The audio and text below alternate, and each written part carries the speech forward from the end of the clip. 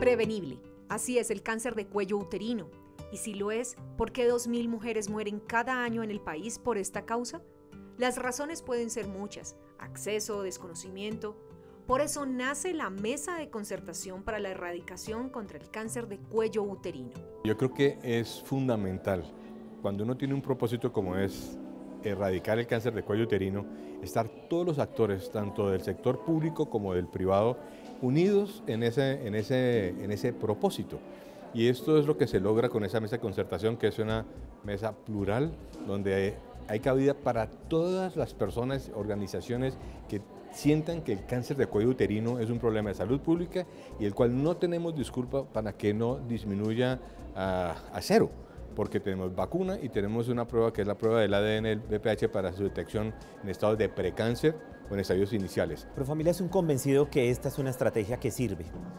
Por eso nos metimos en la labor de acompañar la fundación de la Mesa de Concertación para la Erradicación del Cáncer del Cuello Uterino ¿Por qué estamos convencidos? Porque incluye muchísimas personas, incluye personas de la academia, incluye personas eh, de la industria farmacéutica e incluso incluye personas víctimas de la enfermedad. Es decir, vamos a tener una visión global de lo que es el cáncer de cuello uterino. Somos una veeduría de la sociedad civil a las acciones del ministerio y somos un apoyo también de educación a los médicos, a las pacientes, a los medios. Y es que Colombia cuenta con las medidas para lograr su erradicación, pero existe un gran componente, el desconocimiento. La encuesta nacional de demografía y salud demostró varias fortalezas y algunas debilidades.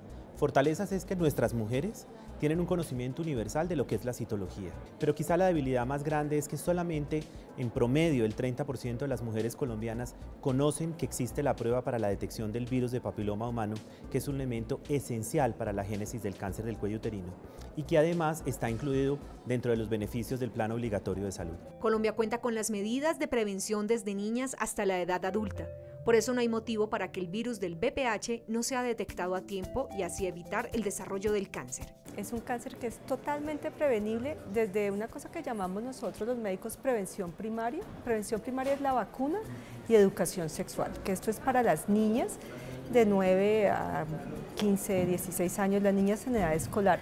Después, ¿qué viene? Las mujeres por encima de los 25 años con la citología. La citología se hace cada tres años en este grupo de hasta los 30 años. ¿Y qué otra cosa tenemos también? ¿Qué otra herramienta? Las pruebas del virus del papiloma humano que se hacen en las mujeres por encima de los 30 años hasta los 65 años. Pero a veces la citología es negativa, pero existe el virus. Por eso es que a través de la prueba de detección del BPH se reconoce a ciencia cierta si existe o no, si hay riesgo o no hay riesgo una prueba que todas las mujeres deben exigir, que es igual de económica que una citología. Yo soy Natalia Carvajal, sobreviviente de cáncer de cuello uterino. Realmente fue un cáncer silencioso.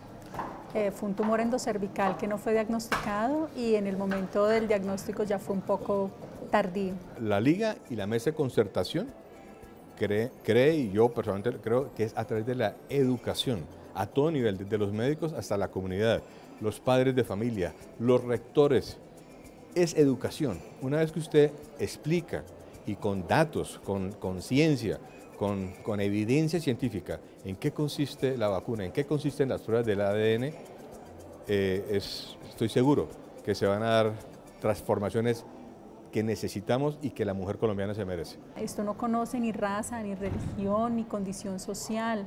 Esto es de todas y para todas. Entonces todas tenemos que tomar conciencia.